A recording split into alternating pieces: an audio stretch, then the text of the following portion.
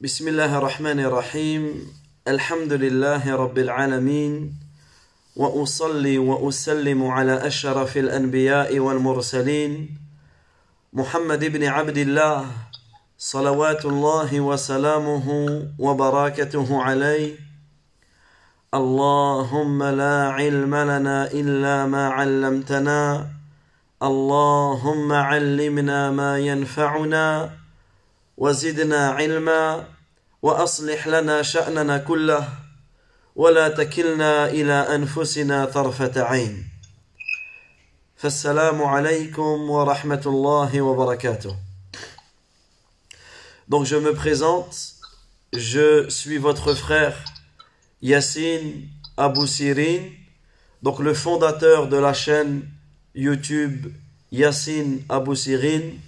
Je suis imam et conférencier. Je, me tra je, je traverse un petit peu euh, toutes les mosquées de France afin de, de donner des, des conférences et de former les gens surtout dans ce qui est ma spécialité, qui est le lavage mortuaire. Alors, je réponds favorablement à l'invitation qui a été faite sur euh, euh, le compte Penser l'Islam sur Twitter. Donc, euh, je remercie le, le frère Hafidahullah pour son invitation. Et bi'idhnillah, nous allons ensemble, durant cette soirée, s'arrêter sur un verset du Coran. Un verset du Coran qui en réalité, ce verset doit être une base dans notre vie. Ce verset doit être un, un axe principal. Ce verset doit être une, un pilier de notre existence. Allah tabaraka wa ta'ala, qu'est-ce qu'il dit dans le Coran? Il dit Fawarabbik. Et par ton Seigneur, lanas'alannahum ajma'in. Et par ton Seigneur, nous allons tous les interroger. Allah subhanahu wa ta'ala, il jure par lui-même. Allah azza wa il jure par lui-même et qu'est-ce qu'il dit? Et par ton Seigneur, nous allons tous les interroger. Sur ce qu'ils faisaient. Ça veut dire qu'en réalité, il est capital, il est important de prendre conscience que nous serons interrogés par Allah Azza wa. Que tout ce que nous faisons, tout ce que nous disons, la vie que nous menons, nous en serons interrogés, nous en serons questionnés par Allah Azza wa Jal. Ça veut dire que cette vie que je mène, je dois la mener en prenant conscience qu'Allah ta'ala me surveille.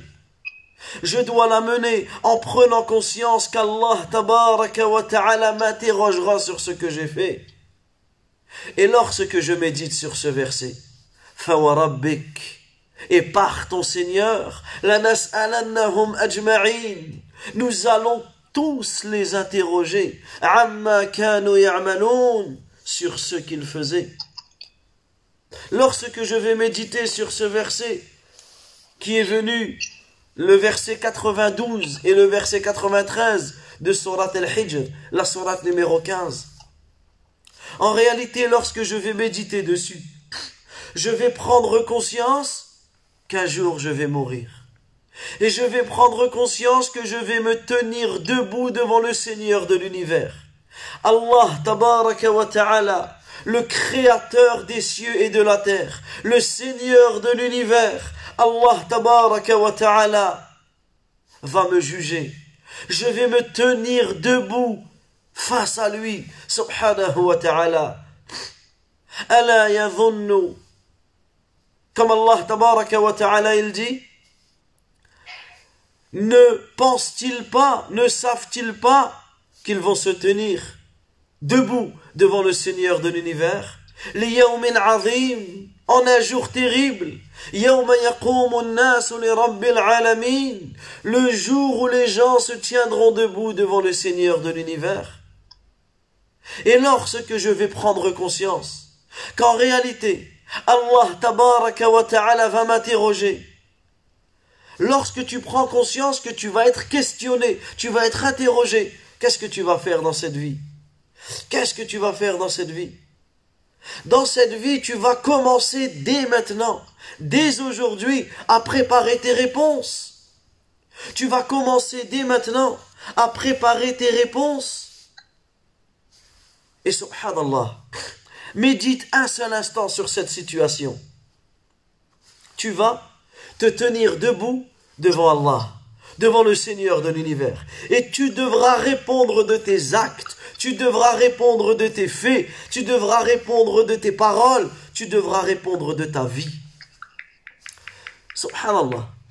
Lorsque tu es debout devant un patron et ton patron te demande de rendre des comptes. Lorsque tu es debout devant un parent, lorsque tu es debout devant un grand frère, lorsque tu es debout devant un policier, devant un juge, regarde et que tu dois répondre de tes actes et qu'on te demande des comptes. Tu as fait cela pourquoi? Tu dois m'expliquer pourquoi tu as fait cela, pourquoi tu as fait cela et pas cela?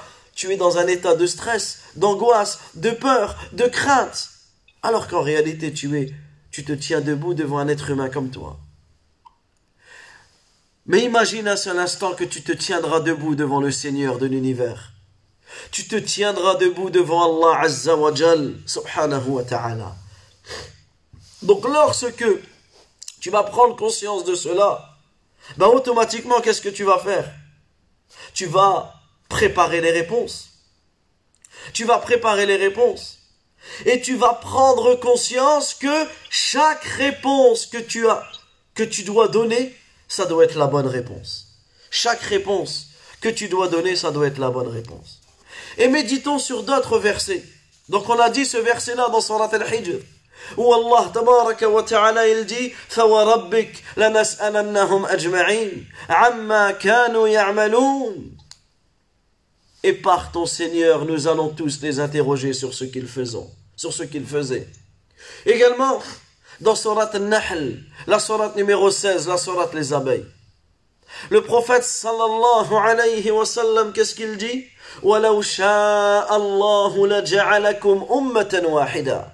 Et si Allah azza wa l'avait voulu, si Allah tabaraka wa ta'ala l'avait voulu, il aurait fait de vous une seule communauté il aurait fait de vous une seule communauté. ولكن يضل من يشاء mais Allah Azza wa il égare qui il veut ويهدي من يشاء et il guide qui il veut et vous serez jugés sur ce que vous faisiez également Allah tabaraka wa ta'ala il dit dans un autre verset فَلَنَسْأَلَنَّ الَّذِينَ أُرْسِلَ إِلَيْهِمْ Allah Azza wa qu'est-ce qu'il dit dans ce verset Il dit Nous vous interrogerons ou nous interrogerons ceux envers qui furent envoyés les messagers et nous interrogerons aussi les envoyés. Également, Allah Azza wa qu'est-ce qu'il dit dans un autre verset? Il dit La yus'alu amma yaf'al wa hum yus'alun. Allah tabaraka wa ta'ala, il n'est pas interrogé sur ce qu'il fait. Ce n'est pas à nous d'interroger Allah azza wa mais ce sont eux, ce sont eux qui seront interrogés. Et les versets dans le Coran allant dans ce sens sont nombreux. Alors, il est important à présent de méditer sur un point, de méditer sur une chose capitale. À quel moment débutera cet interrogatoire? Quand est-ce que débutera cet interrogatoire? Parce que, généralement, il y a une chose qui est, on va dire, naturelle chez l'être humain, c'est que l'être humain, il est insouciant. L'être humain, il ne se rend pas réellement compte, des choses. Et des fois, lorsque l'on entend ces versets, lorsque l'on entend ces rappels, ces exhortations, on peut forcément se dire que L'interrogatoire viendra dans longtemps. Le, la rétribution, le fait que nous serons interrogés, cela, des fois, on ne, se sent pas concerné. Eh bien, sachez que c'est une grave erreur. Parce que il est important de répondre à cette question. Quand est-ce que débutera l'interrogatoire? À quel moment débutera l'interrogatoire? Eh bien, sache que l'interrogatoire débutera dans ta tombe. L'interrogatoire débutera dans ta tombe. Ça veut dire quoi? Ça veut dire qu'entre toi et l'interrogatoire, il y a quoi? Il y a que la mort. Entre toi et l'interrogatoire, il n'y a que la mort. Et la mort peut arriver à n'importe quel moment. Il se peut que nous avons commencé cette conférence et que nous n'allons pas la terminer. Il se peut que nous avons vu la nuit englober le jour et que nous ne verrons pas le jour. La mort peut te frapper à n'importe quel moment. Comme disait le poète, La mort frappe, la mort arrive subitement, elle ne prévient pas. Et la tombe sera l'espace de tes actions. Alors, lorsque tu vas mourir, et lorsque tu seras introduit dans ta tombe, sache que l'interrogatoire commencera à partir de, ce moment-là. Comme le rapporte l'imam Ahmad dans son Musnad dans le hadith qui est connu comme étant le hadith de Bara ibn Azib. Ce hadith qui est un hadith assez long, nous allons simplement citer une partie. Ce hadith où le prophète sallallahu alayhi wa sallam, où le prophète sallallahu alayhi wa sallam, il était au cimetière du Baqi'. Le cimetière du Baqi', Baqi'ul Gharqad, le cimetière des gens de Médine là où ses compagnons, là où ses femmes, là où les savants musulmans, là où les gens de Médine, là où ceux qui meurent à Médine sont enterrés. Et le prophète, alayhi salatu était, il attendait que l'on apportait un corps. Il attendait que l'on apportait une janaza. Alors il avait un bâton. Il avait un bâton dans sa main et il grattait la terre. Et ensuite, il a levé ses yeux au ciel. Et il a répété à ses compagnons trois fois billah min Recherchez la protection auprès d'Allah contre le châtiment de la tombe. Recherchez le châtiment, le recherchez la protection auprès d'Allah contre le châtiment de la tombe. Recherchez la protection auprès d'Allah contre le châtiment de la tombe. Alors, à ce moment-là, le prophète alayhi salatu wassalam, de décrire la situation du croyant. La situation du croyant et la situation du mécréant lorsqu'il sera au moment où les anges prendront son âme. Au moment où les anges prendront ton âme. Et le prophète nous parle du moment où notre âme sera remise dans notre tombe. Et c'est à ce moment-là que l'interrogatoire commence. Au moment où ton âme sera remise dans ta tombe, c'est à ce moment-là que l'interrogatoire commencera. C'est pour cela que le prophète alayhi il dit, alors son âme sera ainsi remise dans son corps. Son âme sera ainsi remise dans son corps. Parce qu'au moment où elle sort de ton corps, ton âme elle est montée. Ton âme, elle ne sort, subhanallah. Si tu es un croyant, si tu es un musulman, si tu as unifié, rendu unique Allah Azzawajal seul, sans rien lui associer, tu dois savoir. Tu dois savoir que les anges te diront, les anges te diront Ya ayyuhan nafs al-mutma'innah. Ô toi, l'âme qui est apaisée, ukhruji ila marfiratin min Allah wa ridwan. Sors, yani de ce corps. Sors de ce corps pour gagner, pour euh, sors de ce corps en direction de la satisfaction d'Allah de la satisfaction d'Allah Azzawajal et de son pardon alors son âme sera tirée de ce corps elle sera mise dans un habit dans un linceul parmi les linceuls du paradis elle sera parfumée par les anges avec un parfum du paradis. Et là, ton âme est montée. Elle est montée au ciel jusqu'à, et vous lirez le hadith, jusqu'à, le prophète alayhi salatu nous décrit les étapes, jusqu'à ce qu'Allah azawajal ordonne aux anges de remettre son âme dans la terre. Je l'ai créé de terre, je le renvoie à la terre, et c'est de la terre que je le referai sortir.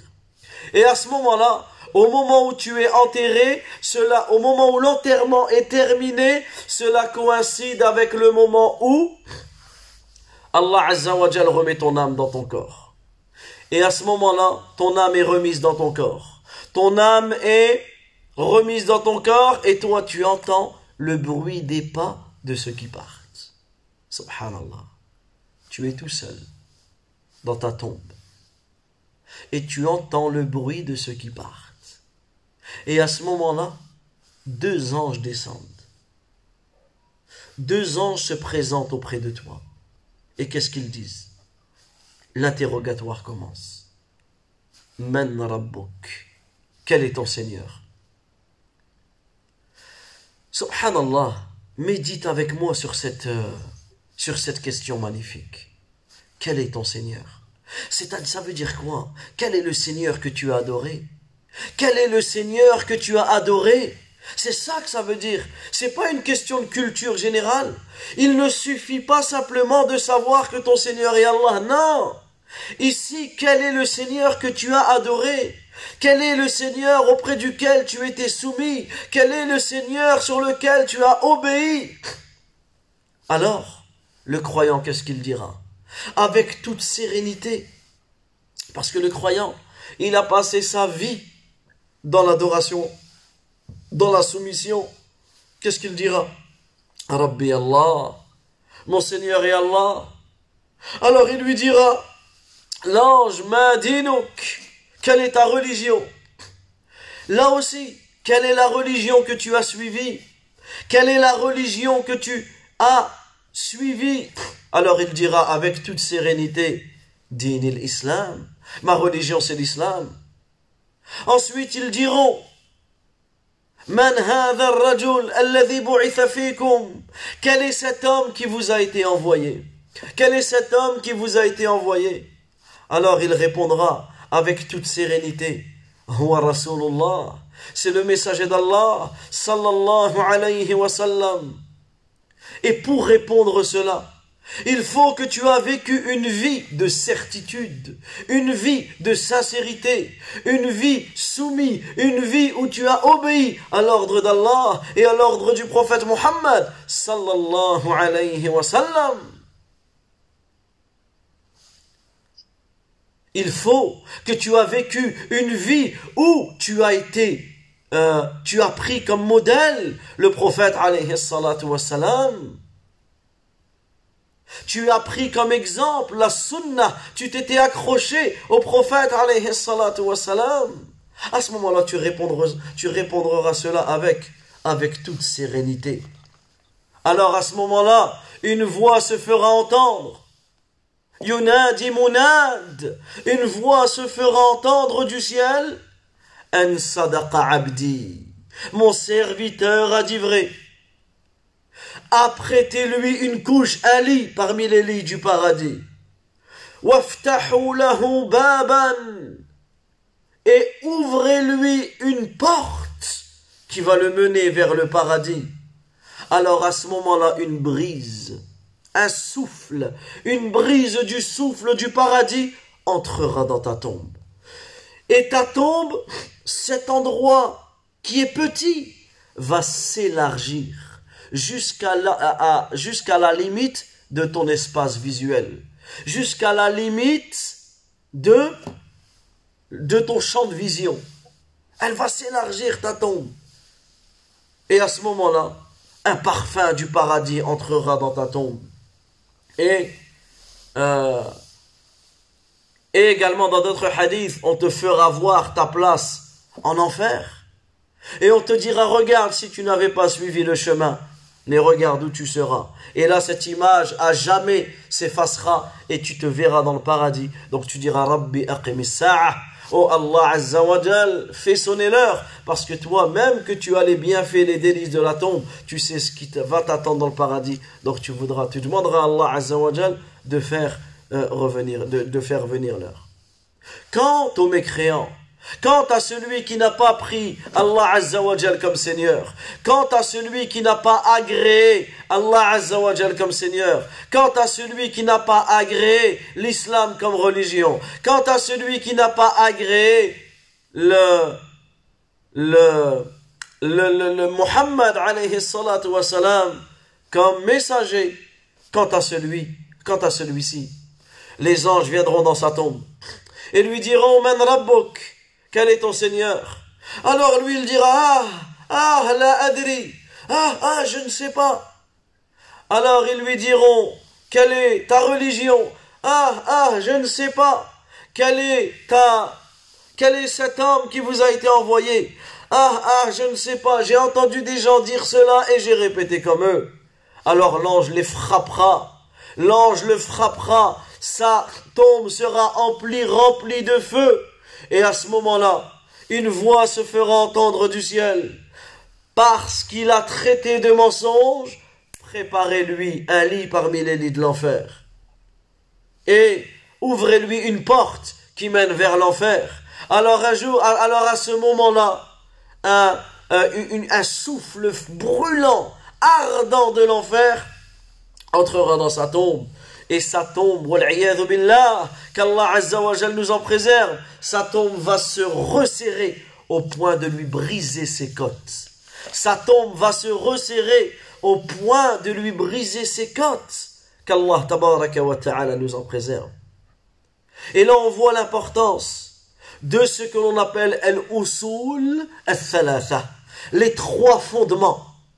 Les trois fondements qui sont ces trois questions qui nous seront posées dans notre tombe.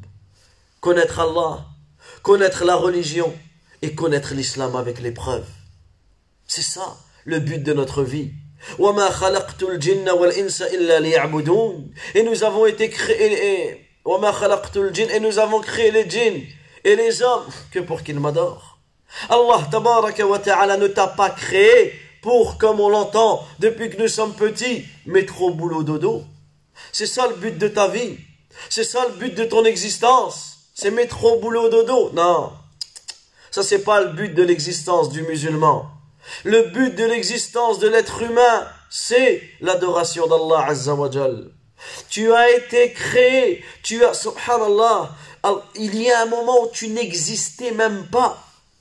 Tu n'étais même pas une chose que quelqu'un pouvait penser. Tu n'existais pas, tu n'étais pas de ce monde. Regarde, il y a 30 ans, il y a 40 ans, il y a 50 ans, il y a 60 ans, peu importe ton âge. Tu n'existais pas. Tu étais le néant, rien. Allah Azza wa il t'a fait exister. Allah tabaraka wa ta'ala, il t'a créé. Pourquoi c'est quoi ta mission C'est quoi ton but C'est d'adorer Allah tabaraka wa ta'ala. فوربك لنسألنهم أجمعين عما كانوا يعملون et par ton Seigneur nous les interrogerons tous sur ce qu'ils faisaient. Passons ensuite. Passons à une autre étape de l'interrogatoire. Passons à une étape importante de notre vie qui va revenir à l'interrogatoire, c'est que parmi les plus grandes questions qui nous seront posées, nous serons tous interrogés et notamment les deux questions les plus importantes qui vont revenir. Retenez cela parce que c'est capital. Tu seras interrogé sur deux questions importantes, deux immenses questions. La première, c'est laquelle? Mada kunta ta'bud. Qu'est-ce que tu adorais Qu'adorais-tu? Et la deuxième, c'est quoi?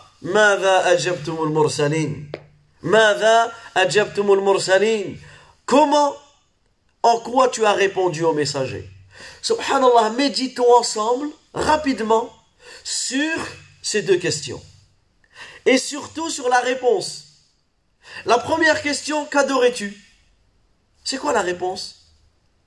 Comment tu pourras répondre à cette question lors de l'interrogatoire En concrétisant dans cette vie La ilaha illallah. Et la deuxième, comment tu as répondu au messager? Comment tu peux répondre ce jour-là au messager? En concrétisant Muhammadun Rasulullah. Subhanallah, le premier pilier de l'islam le premier pilier de l'islam, le pilier le plus important de ta vie. Allah tabaraka wa ta'ala a créé le paradis et l'enfer pour qu'on applique la ilaha illallah. Allah tabaraka wa ta'ala a créé les cieux et la terre. Allah Azza wa il a révélé les livres. Il a envoyé des messagers. Allah subhanahu wa ta'ala, il a divisé ses créatures en deux. Les êtres humains en deux, des croyants et des non-croyants. Tout cela pourquoi? Pour que l'on applique la ilaha illallah Muhammadun Rasulullah. Retiens cela dans ta vie. Tu appliques la ilaha illallah. Tu fais partie des gens du tawhid, des gens de l'unicité d'Allah Azza wa Sache que tu as réussi ta vie. Tu fais partie des gens qui ont concrétisé la ilaha illallah. Sache que tu obtiendras le succès yawm al-qiyamah. Parce que lorsqu'Allah Azza wa te posera cette question, Qu'adorais-tu? Qu'adorais-tu Alors à ce moment-là, à ce moment-là, si tu as vécu une vie remplie de tawhid, remplie de la ilaha illallah, à ce moment-là, tu répondras avec toute facilité. Et lorsque te sera posée la question, qu'as-tu répondu au messager? À ce moment-là, si tu as appliqué Muhammadun Rasulullah, la deuxième partie de l'attestation de foi, tu as appliqué cela dans ta vie, tu as appris, tu as compris, tu as mis en pratique, tu as médité sur Ashhadu an la ilaha illallah wa ashhadu anna Muhammadan Rasulullah qui est le premier pilier de l'islam, à ce moment-là tu réussiras à répondre à ces questions. Et là, il est important de prendre conscience que cette parole, La ilaha illallah, kalimatul ikhlas, kalimatul tawhid, miftahul jannah, cette parole qui est la parole de l'unicité, la parole de la sincérité, la parole qui est la clé du paradis. Lorsque tu prends conscience que cette parole, ce n'est pas simplement une parole qui n'a pas de sens, mais c'est une parole qui a de nombreux mérites, mais c'est une parole qui a, qui, a, qui a un sens profond. Et pour comprendre ce sens profond, il faut que tu comprennes les deux piliers de cette parole. Très simplement, cette parole contient deux piliers. Tu souhaites comprendre cette parole, connais ces deux piliers. Le premier pilier, une négation, une négation totale. Le deuxième pilier, une affirmation spécifique. Je m'explique.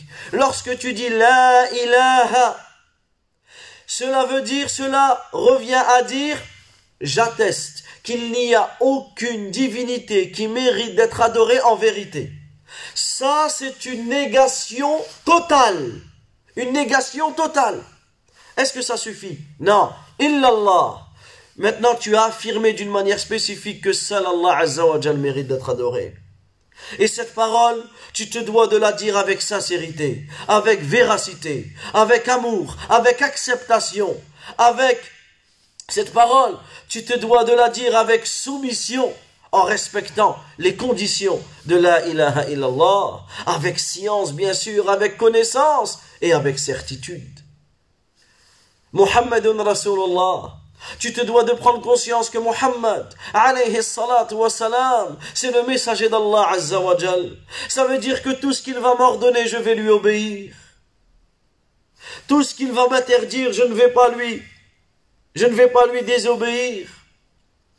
Tout ce qu'il m'a apporté comme information, je vais l'affirmer, je vais la croire. Et je vais adorer Allah Azza wa comme lui a adoré Allah Tabaraka wa Ta'ala.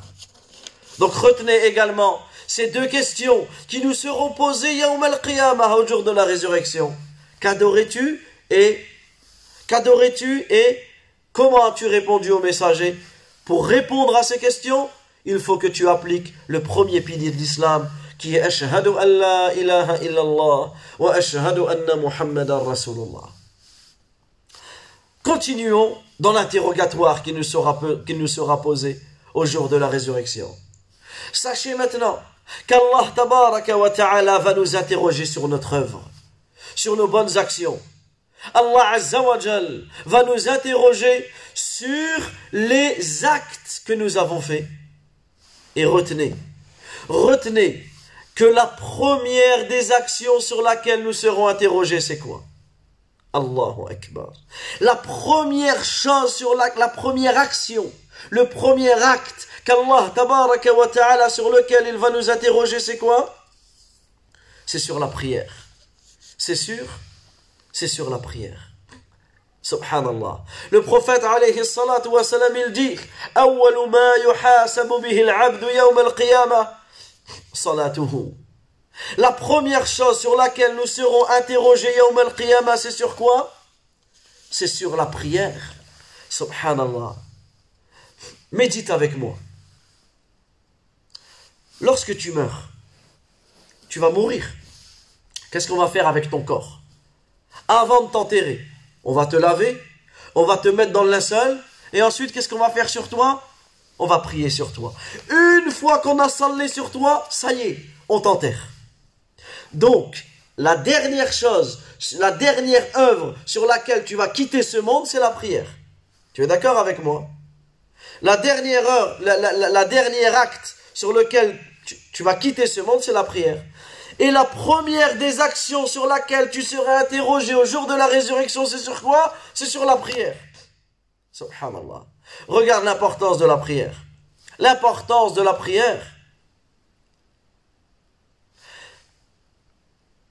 Tout à l'heure, j'ai donné cours à des enfants, à des jeunes. Et subhanallah, il y a moins d'une heure, et j'ai voulu les tester. J'ai voulu les tester et je leur ai dit, on était dans la salle de classe, j'aurais dit allez dans la ah, allez dans la mosquée. Allez dans la mosquée et priez. Voilà, je vous laisse une pause, profitez de cette pause pour prier. Ils sont partis dans la mosquée, ils sont priés. Et moi, en fait, j'étais dans une autre pièce et sans qu'ils le savent, je, voulais, je les ai surveillés afin de voir est-ce qu'ils ont prié, est-ce qu'ils ont joué, est-ce qu'ils se sont battus, est-ce qu'ils se sont chamaillés, comme des jeunes. Et subhanallah, entre eux, entre jeunes, ils ont mis un imam. Ils ont semblé derrière leur imam. Et ils sont restés, ils ont prié une longue prière. À tel point que je suis rentré dans la mosquée et j'ai été surpris par cette ambiance. Ces jeunes réunis, ils ont désigné un jeune comme eux. Ils l'ont mis imam, ils ont prié une prière. Ils ont prié Anil Aisha qu'ils n'avaient pas prié sûrement. Et à la fin, je me suis assis avec eux. Et je leur ai expliqué. Je leur ai dit personnellement, je pensais que vous allez aller vous chamailler, vous allez aller vous battre. Et en fait, ils se sont réunis et ils ont apprécié cette prière. Et je leur ai raconté une des dernières actions que le prophète alayhi a fait un des derniers, subhanallah, le prophète alayhi il est tombé malade un jeudi. Sa maladie a commencé à s'intensifier un jeudi. Il est tombé malade le jeudi, le vendredi, le samedi, le dimanche, et il est mort le lundi. Alayhi salatu. Et vous savez ce qui s'est passé avant sa mort?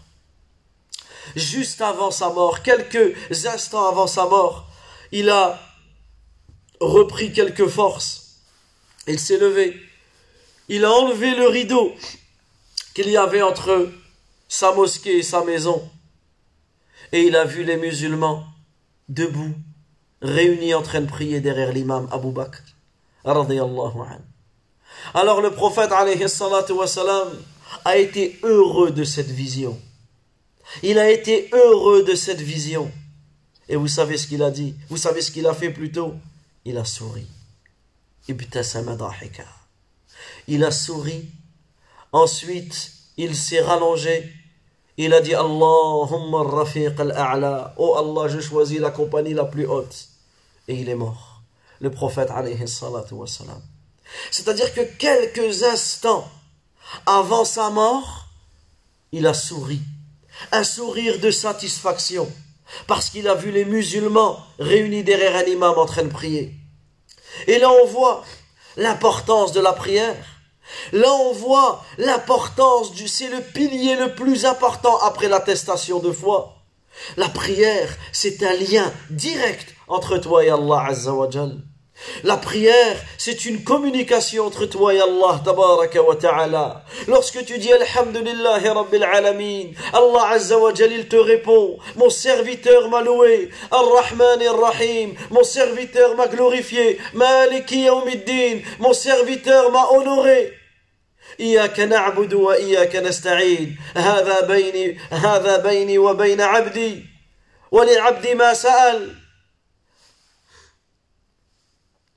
Cela est entre moi et mon serviteur, et mon serviteur aura ce qu'il demande. Guide-nous vers le droit chemin. Allah Azza wa il te répond. Et ça, c'est important de prendre conscience. De prendre conscience que la prière, tu dialogues avec Allah Azza wa Jal. De prendre conscience que lorsque tu pries, tu obéis, tu es soumis à l'ordre d'Allah Ta'ala et de prendre conscience que nous serons interrogés. Nous serons interrogés sur cette prière. Nous serons interrogés sur cette prière. Le prophète, alayhi salatu salam, il dit, la première chose sur laquelle nous serons ressuscités, ou la première chose sur laquelle nous serons jugés au jour de la résurrection, c'est la prière. Si elle est bonne, on regardera dans cette prière. Si elle est bonne, tout le reste sera bon. Regarde, ta prière elle est bonne, comme tu as un passe droit. Tout le reste sera bon. Par contre, si elle n'est pas bonne, tout le reste ne sera pas bon. Tout le reste ne sera pas bon. Et là, on doit prendre conscience de l'importance de cette prière. Et on doit se remettre en question. Est-ce que je réponds réellement à cette prière? Ou simplement je prie, simplement parce que je dois prier, mais ça devient machinal? Ça devient machinal. Je ne prends même pas conscience que je me tiens debout devant le Seigneur de l'univers. Tu es debout devant Allah dans la prière. Sache que quand tu vas mourir, tu seras ressuscité, tu seras, tu te tiendras debout devant Allah Azza wa Tu dis Alhamdulillah, la louange est à Allah. Tu affirmes qu'Allah Azza wa possède toutes les qualités. Rabbil Alamin, le Seigneur de l'univers. C'est lui qui gère tout, qui contrôle tout, qui donne la vie, qui donne la mort, qui donne la santé, qui la reprend. Subhanahu wa ta'ala. Etc. Ar-Rahman et Ar-Rahim. Tu prends conscience de la miséricorde d'Allah Azza wa Tu prends conscience à quel point Allah tabaraka wa ta'ala est miséricordieux envers ses, ses créatures. Maliki Yawmiddin. Ce verset doit te pousser à craindre Allah Azzawajal, le maître, le roi du jour de la rétribution. Parmi les noms d'Allah, il y a Ad-Dayyan, celui qui rétribue. Quand tu dis Maliki Yawmiddin, le maître, le roi du jour de la rétribution, ça veut dire quoi? Ça veut dire que tu as fait du bien, tu seras rétribué en bien. Tu as fait du mal, tu seras rétribué en mal.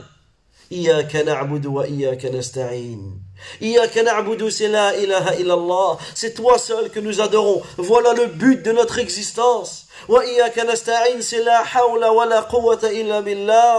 Et c'est toi seul que nous implorons le secours parce que tu ne peux rien faire sans l'aide d'Allah Azza wa Si aujourd'hui Allah nous a guidés, c'est, si aujourd'hui nous sommes guidés, nous avons la vie que nous avons, tout cela c'est grâce à Allah, Sans Allah Azza wa tu ne peux rien faire. Guide-nous vers le droit chemin. Le chemin du prophète. Le chemin de ceux que tu as comblés de, tes faveurs. C'est-à-dire le chemin de ceux que tu as comblés de tes faveurs. Le chemin parmi les prophètes, parmi les vertueux, parmi les, parmi les, euh, les prophètes, les vertueux, les pieux. Également, et non de ceux qui ont encouru ta colère. Ceux qui ont encouru la colère, c'est qui? C'est ceux qui connaissent mais qui n'appliquent pas. C'est pour cela que fais attention. Prends garde de ne pas mettre en application ce que tu as appris. Parce que sinon tu risques d'encourir la colère d'Allah Azza wa Et ni des égarés. C'est qui? C'est ceux qui, ah, qui œuvrent mais sans science. Attention, à œuvrer sans science, parce que lorsque tu œuvres sans science, lorsque tu apprends l'islam sans les preuves, lorsque tu écoutes à gauche et à droite tout le monde et n'importe qui, à ce moment-là tu risques de tomber dans des ambiguïtés, dans des égarements, dans des innovations qui te mènent à l'égarement et qui te mènent au feu de l'enfer. Continuons notre interrogatoire.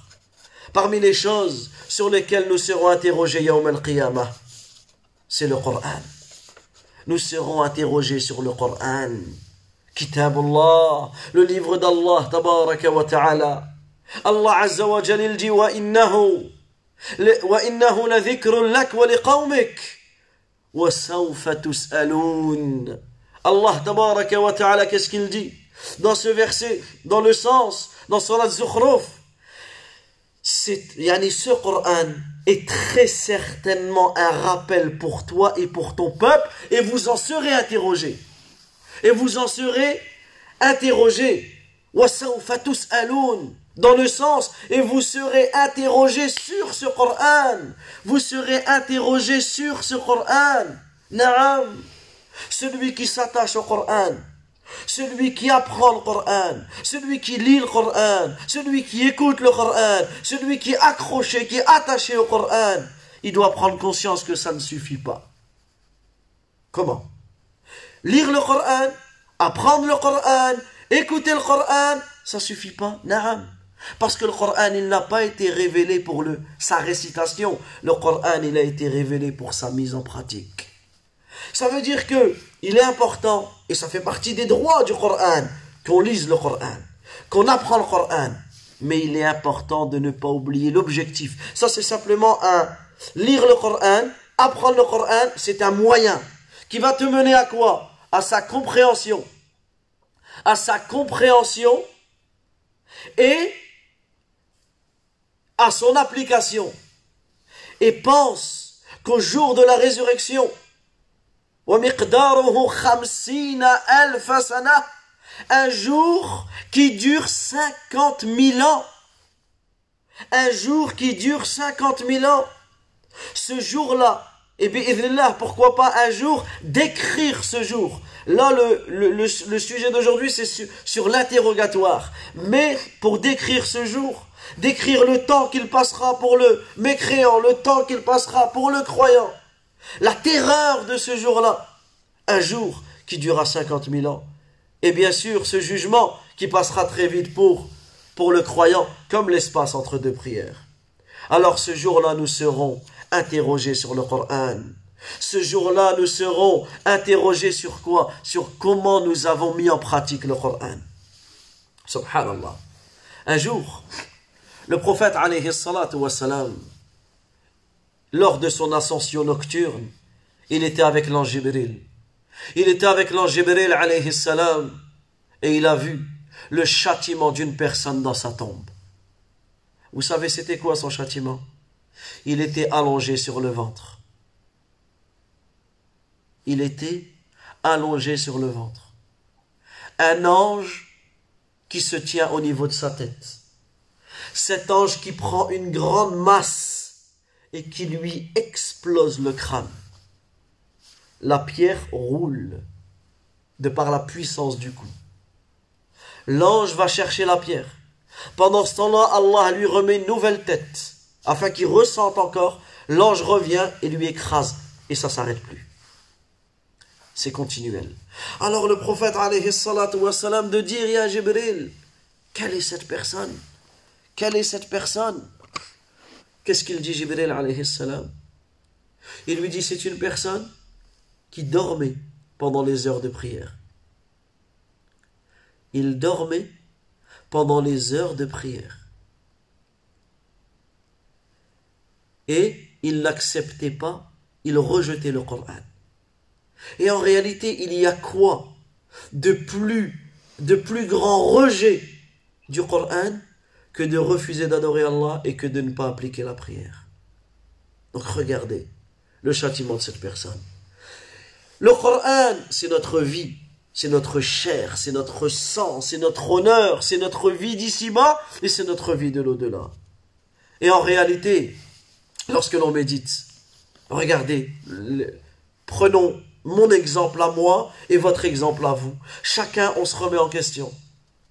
Certains parmi nous, on maîtrise des langues. On apprend l'anglais, on apprend l'espagnol, on apprend l'allemand. Certains apprennent même le latin, une langue qui, n'existe même plus. Certains vont parler le chinois, on va maîtriser des langues. Prenons ne serait-ce que le français. On va même pas aller plus loin dans les exemples.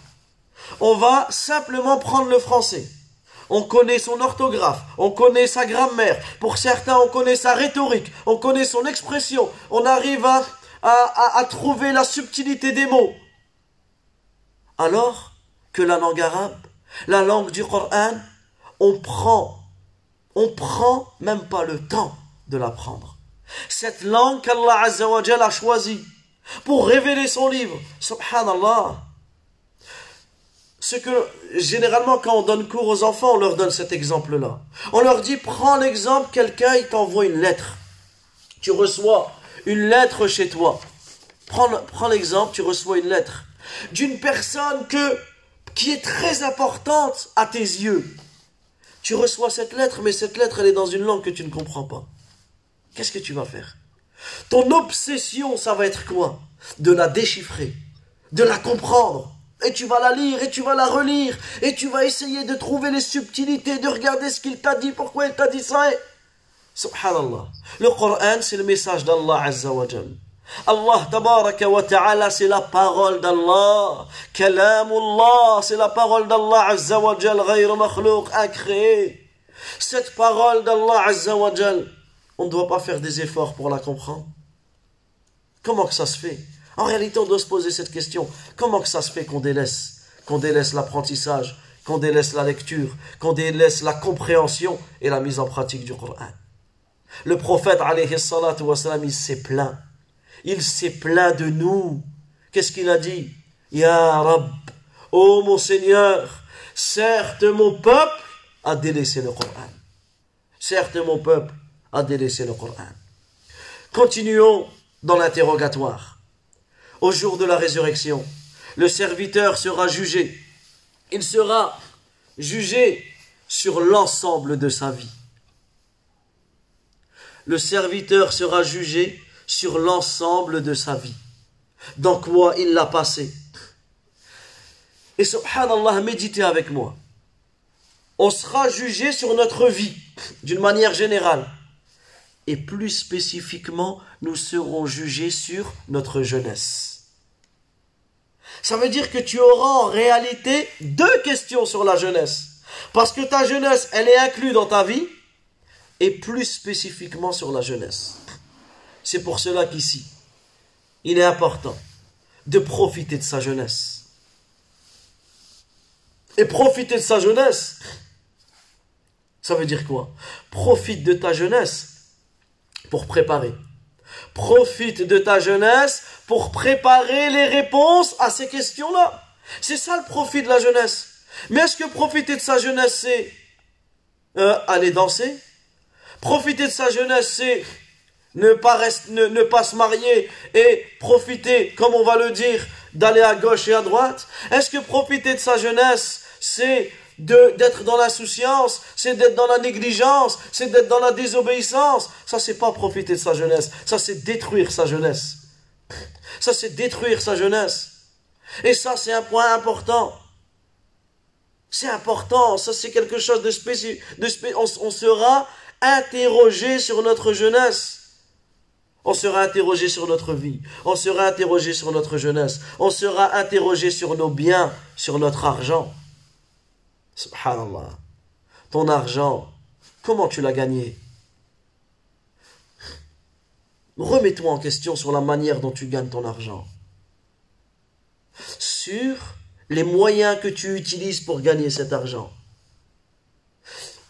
Prends simplement la manière. Tu vas dire, je travaille. Ok. On va simplement s'arrêter sur un point, puisqu'on pourrait faire une conférence que sur ça, sur l'argent. Et j'ai fait un prêche il y a quelques semaines sur l'argent haram, vous le trouvez sur la chaîne, sur la chaîne YouTube. Je vous incite à le regarder.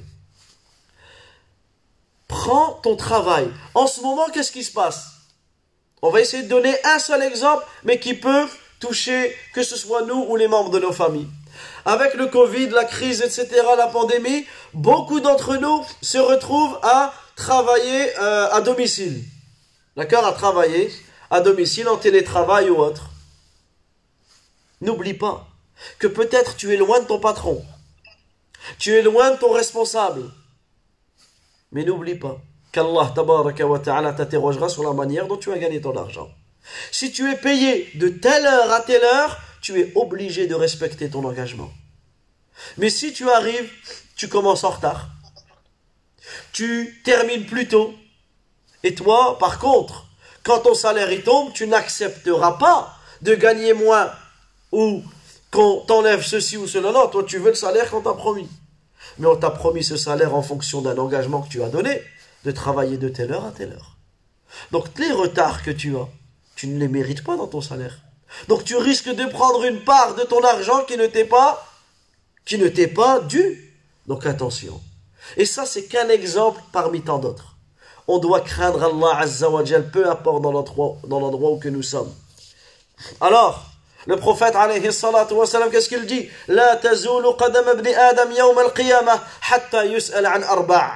Les pieds du serviteur ne bougeront pas tant qu'il ne sera pas interrogé au jour de la résurrection sur quatre choses. Sur sa vie dans quoi il l'a passé. Dans sa jeunesse sur quoi il l'a euh, dans, dans quoi il l'a passé. Donc regardez, la vie et la jeunesse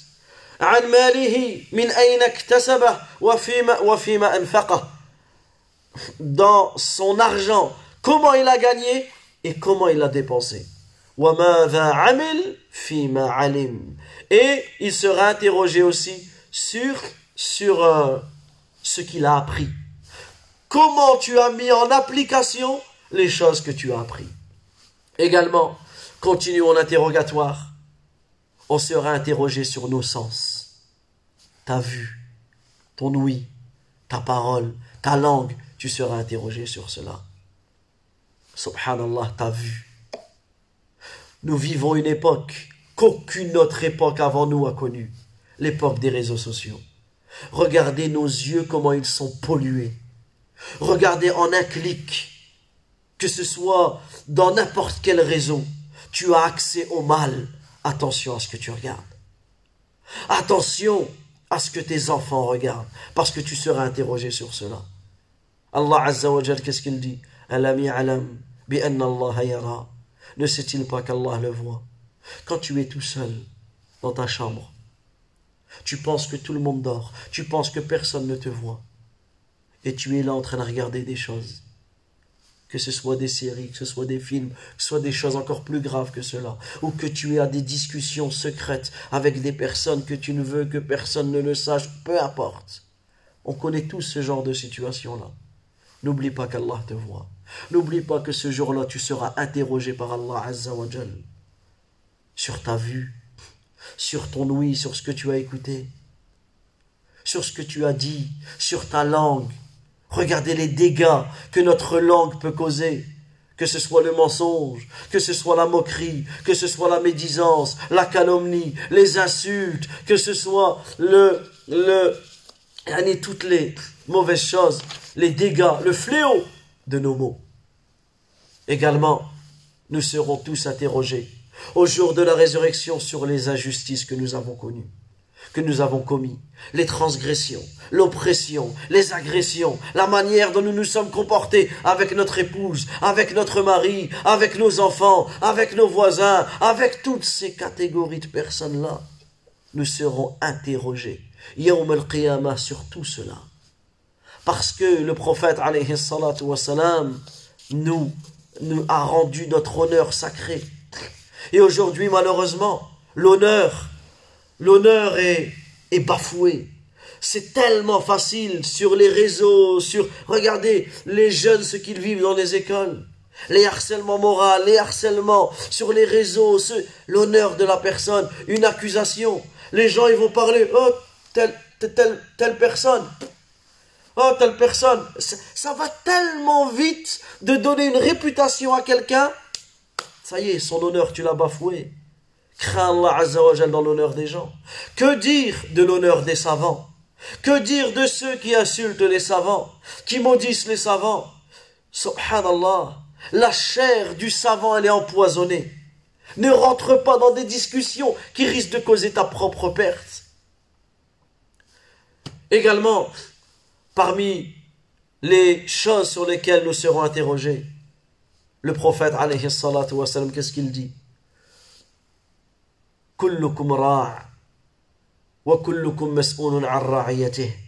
Chacun d'entre vous est un, est un berger et chacun d'entre vous sera interrogé sur son troupeau. Chacun d'entre vous est un berger et chacun d'entre vous sera interrogé sur son troupeau.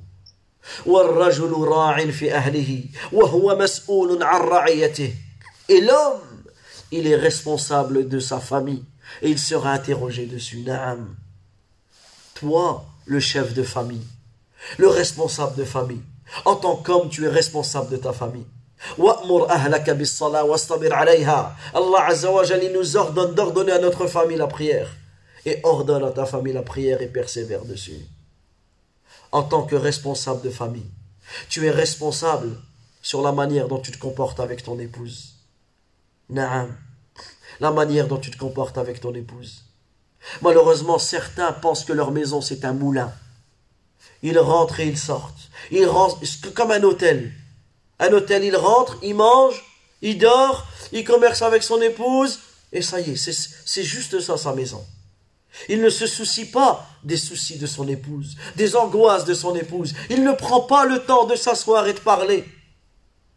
Bien au contraire, certains sont souriants dehors et sont, deviennent des bêtes féroces à l'entrée de la maison. Wallahi mon frère, tu seras interrogé sur cela. Wallahi mon frère, nous serons interroger sur cela. Il y a des femmes qui sont souriantes avec leurs amis, souriantes avec leurs collègues. Par contre, lorsqu'elles arrivent chez elles, tu ne la reconnais plus. Tu ne la reconnais plus. Elle aussi, elle devient une bête féroce. Et elle boude. Et elle n'est même pas capable de sourire à son mari. Elle n'est même pas capable de sourire à son mari, de s'embellir pour son mari, de prendre en considération la fatigue de son mari ou ses angoisses. Et ça, c'est une grave erreur. Ça, c'est une grave erreur. Toi, ma sœur, tu seras interrogé sur la manière dont tu te comportes envers ton mari. C'est pour cela que le prophète, qu'est-ce qu'il dit? Et la femme est une bergère. dans la maison de son mari. Et elle sera responsable de son troupeau.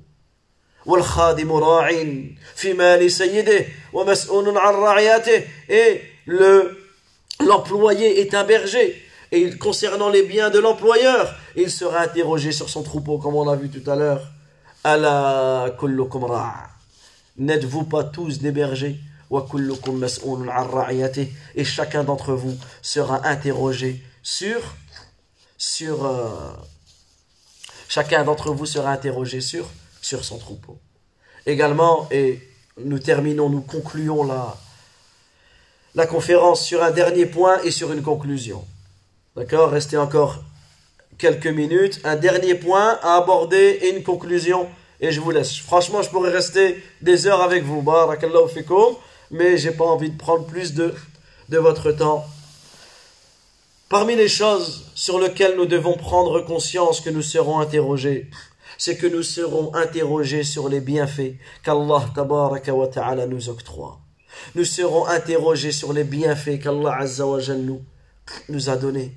Subhanallah, s'il te plaît, prends quelques secondes simplement pour méditer sur des millions, voire des milliards de personnes qui sont en dessous de toi. En dessous de toi dans le sens qui vivent moins que toi. Pas en dessous de toi, tu es meilleur que non. Dans le sens des gens qui, socialement parlant, ne vivent pas ce que tu vis. Tu vis, déjà tu es vivant. Allah, regarde le bienfait qu'il t'a donné. Allah, il t'a guidé. Subhanallah, ça c'est le plus grand bienfait qu'Allah nous a donné. Allah, il t'a guidé à l'islam. Regardez où on a grandi. Regardez où on vit. Regardez à quel point le mal, les péchés sont tellement facilement réalisables mais Allah, il t'a guidé. Subhanallah. Il t'a choisi. Il a guidé ton cœur vers l'islam. Comment après ça tu peux, tu peux renier les bienfaits d'Allah? Allah, il t'a donné la vie alors qu'il y a des milliards de, des, des, des, milliards de personnes qui remplissent le cimetière. Ils sont morts. C'est fini. Regardez, subhanallah, il y a quelques jours, euh, une personne, elle est partie se vacciner une personne de notre ville qui est partie faire le vaccin. Et généralement, c'est un sujet de polémique, on angoisse, on a peur, on sait pas, je le fais, je le fais pas. C'est vraiment la polémique du moment. Et on penserait, oui, mais le vaccin, ça, peut être une cause d'effet secondaire. Regardez-nous comment on va penser. Vous savez, il est mort comment cette personne? Dans la file d'attente. Il a fait une crise cardiaque, il est mort dans la file d'attente avant de se faire vacciner. Regardez, subhanallah il Regardez, subhanallah il Comment en réalité on s'en rend pas compte? On s'en rend pas compte du bienfait qu'Allah nous a donné. Regarde le bienfait de la santé. Regarde le bienfait de la santé. Il y a quelques jours, je parlais avec un frère. Wallah, cette discussion, elle m'a touché. Ce frère-là, sa fille, que je connais personnellement, qu'Allah la guérisse d'une guérison rapide et complète. Sa fille qui est atteinte d'une très grave maladie. Une maladie très, très rare. Il, est, il était à Paris dans un hôpital spécialisé pour ce cas-là. Donc imagine ce père qui est en face de sa fille sa fille qui vient de subir une opération du cœur, ou ils ne savent pas si elle va se réveiller. Sa fille d'une dizaine d'années, lui pendant des heures, il attend à savoir est-ce que sa fille, elle va juste se réveiller, elle va juste respirer. Sa fille, alhamdulillah, elle s'est réveillée de cette heure. Il était dans un état de joie, de, de remerciement envers Allah. Et qu'est-ce qu'il me dit? Il me dit, on reçoit une visite on reçoit une visite de personnes qui viennent nous rendre visite dans la chambre. C'était qui? Deux joueurs du Paris Saint-Germain, Mbappé et l'autre, je ne connais pas ou je sais pas, je me souviens plus du nom. Mbappé, que ici les gens ils vont voir Mbappé, ils vont le vénérer. Le frère il me dit, je l'ai à ce moment-là, mais il n'y a même pas un soupçon de je vais te regarder, je vais te... Non, oui, ben voilà, il, m'a dit, même lui, a été, ils ont discuté normalement, il lui a expliqué, il est venu, et il m'a dit, même lui a été surpris que, il m'a dit, il y a des parents, il m'a dit, il y a des parents, ils laissaient leur enfant tout seul dans la salle de chambre et ils allaient demander un autographe à un gamin, un jeune. Qu'il soit joueur de foot, qu'il soit millionnaire, milliardaire, peu importe. Subhanallah, regarde le bienfait qu'Allah t'a donné. Et il m'a dit à tel point que ce joueur de foot, il a pris du temps avec eux dans la chambre. Il a pris du temps avec eux tellement il se dit, là j'ai affaire à des gens où vraiment il a trouvé cette humanité. Et là tu vois, là tu vois, subhanallah, cette situation des bienfaits qu'Allah ta'ala te donne. Regarde ta voiture. Tu mets un coup de clé, elle démarre. Et elle t'emmène là ou là. Tu peux emmener tes enfants là ou là. Regarde tes enfants. Regarde tes enfants. Et je suis président d'une association de lavage mortuaire, où je vois des parents qui perdent leurs enfants. Ben je vous promets que quand vous parlez avec un père qui a perdu sa fille, qui a perdu son fils, qu'est-ce qu'il espérait, qu'est-ce qu'il aimerait? Retourner un seul instant avec son enfant. Peu importe les bêtises qu'il va faire, peu importe ce qu'il va faire, les soucis, les angoisses, rien que rester avec son enfant. La même chose, j'ai l'occasion de rencontrer des veuves, des frères qui ont perdu leur épouse. Eh bien, vous savez que ces frères-là, qu'est-ce qu'ils aimeraient un seul instant que leur épouse revienne? Juste, ils la regardent. Juste, ils lui donnent un sourire. Juste, ils prennent du temps et lui demandent si elle va bien. Ton épouse, elle est vivante. Profite. Ton mari, il est vivant. Combien de sœurs n'ont plus de mari? Leur mari, il est mort. Leur mari, il est mort. Combien pensaient, lorsque leur mari il était vivant, elles pensaient qu'elles avaient une vie, elles étaient tristes, elles étaient comme ceci. Et elles pensaient, oui, on n'a pas forcément l'argent qu'il faut, on n'a pas ceci, on n'a pas cela. Mais le jour où leur mari est mort, et peut-être qu'une fois que le mari est mort, elle a peut-être de l'argent, elle a peut-être... Mais elle prend conscience qu'en réalité sa vie ne sera plus comme avant. Elle prend conscience que le bonheur, il était là. C'est pour cela qu'en réalité, arrêtons de perdre notre temps dans ses futilités, dans ses embrouilles, dans ses... Profite. Profite et remercie Allah Azzawajal pour les bienfaits qu'il qu'il t'a donnés. Je termine et je conclus ce, cette conférence ou ce rappel sur le fait, sur une histoire. On conclut, on arrête sur une histoire. Et cette histoire, elle nous renvoie à quoi? Elle nous renvoie sur le fait que maintenant nous avons pris conscience que nous serons interrogés par Allah Azza Maintenant nous avons pris conscience que nous serons interrogés par Allah Tabaraka Ta'ala. Alors, il se peut que parmi nous, il y en a qui ont été négligents. Il se peut que parmi nous, certains se disent, il faut que, je m'y mette. Ça y est, j'ai plus de temps à perdre. Alors écoutez, la solution elle est magnifique. Qad Fais du bien dans ce qui te reste à vivre. Tu sais pas ce qui te reste à vivre. Fais du bien dans ce qui te reste à vivre. Allah Azza te pardonnera tout ce qui s'est passé. Et il te jugera que sur ce qui t'est resté à vivre. Mais si tu ne prends pas des bonnes résolutions, si tu ne fais pas du bien dans ce qui te reste à vivre, Allah Azza wa te jugera sur tout ce que tu as fait et tout ce que tu restes à vivre. Et ça, l'histoire que je vais vous raconter, c'est l'histoire de Al-Fudayl ibn Iyad. Al-Fudayl qui fait partie des plus grands savants parmi les tabi'in, ceux qui ont connu les compagnons mais qui n'ont pas connu les, le, prophète Al-Fudayl, il a rencontré un homme. Un homme, et il a vu cet homme qu'il était assez âgé.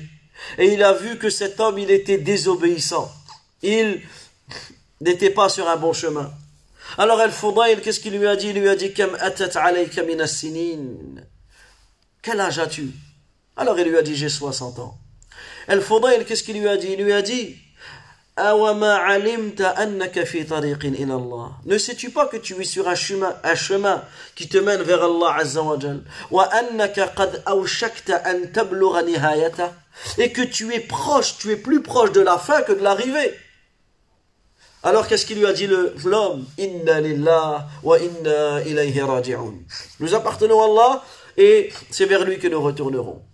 Alors il faudrait, surpris, qu'une personne qui désobéit à Allah sorte une parole aussi magnifique de sa bouche. Mais il faudrait, il l'a compris. Comme beaucoup d'entre nous, on dit des paroles qu'on ne comprend pas. Parce que si tu comprends cette parole, tu ne vas pas faire les actes que tu fais. Alors il lui a dit, tu sais ce que tu as dit? Il lui a dit oui. J'ai dit, inna lillah wa inna. Il lui a dit, est-ce que tu sais ce que ça veut dire? Il lui a dit, qu'est-ce que ça veut dire? Il lui a dit, quand tu dis inna lillah, nous appartenons à Allah. Ça veut dire que tu appartiens à Allah. Et c'est vers lui que nous retournerons. C'est-à-dire que tu vas retourner à Allah.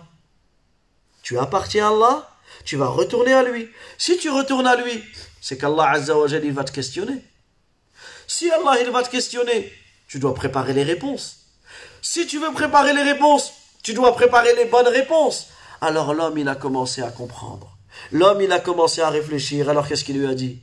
Quelle est la solution? Allez, j'ai commis quasiment. Ça fait 60 ans que je suis sur terre et j'ai pas fait beaucoup de bonnes actions, j'ai fait beaucoup de péchés. Mais quelle est la solution? Il lui a dit yasira. La solution est très simple. Il lui a dit quelle est-elle? Il lui a dit Ahsin ma baqi. Fais du bien dans ce qui te reste à vivre. On te pardonnera tout ce qui s'est passé. Mais, mais si tu ne fais pas du bien, mais si tu ne fais pas du bien dans ce qui te reste à vivre, on te jugera sur tout ce que tu as fait, tout ce que tu feras. Regarde, il est le temps, aujourd'hui, pour moi et toi, de prendre de bonnes résolutions, de se repentir sur notre passé et de faire du bien dans ce qui nous reste à vivre et là, on euh, sera jugé seulement sur, sur le bien que nous avons fait. Et Allah Azza wa nous pardonnera nos, nos erreurs et nos péchés. Je remercie le frère de, du compte Twitter Pensée d'Islam sur lequel nous sommes, euh, nous sommes actuellement. Je le laisse, bi'idhnillah, mettre en, en lien nos, nos réseaux, notre chaîne. Celui qui veut nous suivre sur YouTube, sur Instagram, sur, euh, sur les réseaux, sur Telegram, on, on, on, on mettra les, les, réseaux. Et le but, c'est simplement de transmettre, de transmettre notre dîne, de transmettre notre religion, de se rappeler d'Allah Azzawajal et de préparer notre mort et notre interrogatoire. Wallahu ta'ala a'lam. Wa sallallahu wa sallam ala nabiyyina Muhammad wa ala alihi wa sahbihi ajma'in. بارك الله فيكم وجزاكم الله خيرا.